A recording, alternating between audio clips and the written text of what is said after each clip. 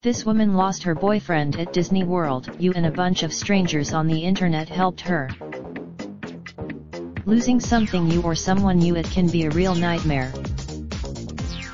If you've ever misplaced your keys, your wallet, or, more importantly, one of your own companions at a, you know that finding them again can be like searching for a needle in the world's biggest haystack. But sometimes, there might be some good Samaritans around to help you out. One woman, Brittany Blake, was lucky enough to get a little help from some online friends when she was separated from her boyfriend in Epcot at Disney World.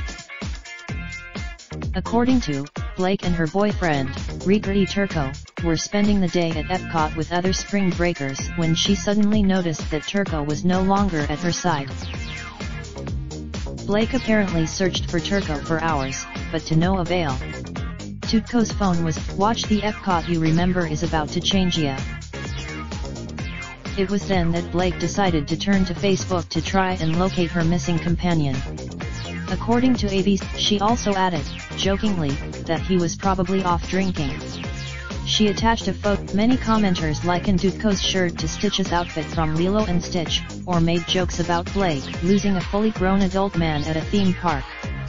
Some offered genuine. It was only minutes before the park closed that there was a solid lead on Turco's whereabouts.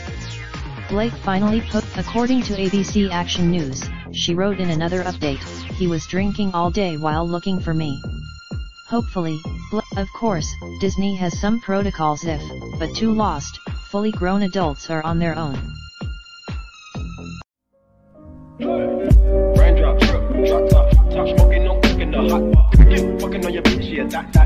Looking up, open the park.